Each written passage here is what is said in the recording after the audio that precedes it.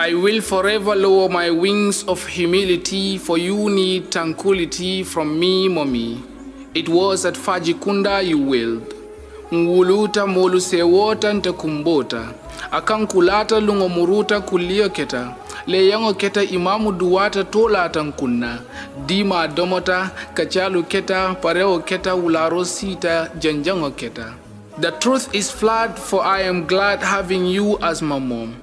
Even if I am given chance choosing a mom again, I will choose you. To be dutiful to you will be helpful to me.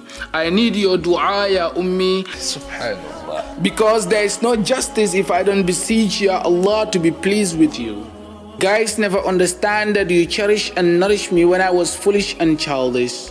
You took care of me, no tire oh, or hire nanny. Fair spare share with me, not mere. I was like Sumayya in the state of Arabia. Subhanallah. I had blessings and kisses from you, all appreciated and narrated to those who never realize your beauty.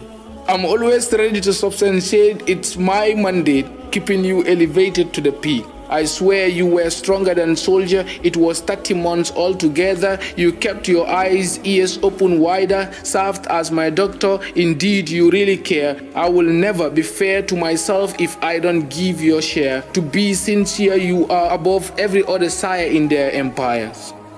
When I thought of the terrific days we had together, it makes me smile, and the horrific ones make me wild. Forgive me, mom. I only understood the value of a mother when I learned the comforter's hikmah. The sacrifice lies on my hand, and paradise is under your feet. I am coming to kiss it. I sometimes think of giving you back all the good you did for me, but unfortunately, fortunate I can't pay you even a single mm during that fatal moment. I need the best of words to describe how beautiful you are, but I'm bereft of words. Be rest assured that I'm gonna serve as glitch for anyone who construct just to obstruct your way. Destruction comes to them from me.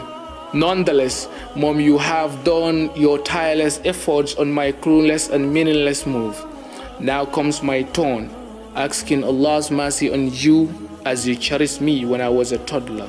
For indeed, I will leach out all the nutrients from the beach to quench your desired needs before I start digging my own trench. So help me God.